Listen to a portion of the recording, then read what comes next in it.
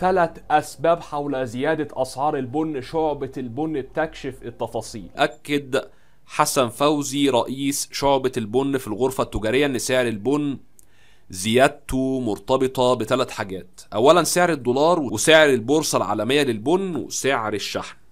يعني كل ما الدولار يرفع هتلاقي سعر البن رفع معاه. ومش قادرين نعمل حاجة في ده لأننا مضطرين نستورده. فوزي قال في تصريحات إن البورصة العالمية للبن مهمة جدا زي أهمية بورصة البترول.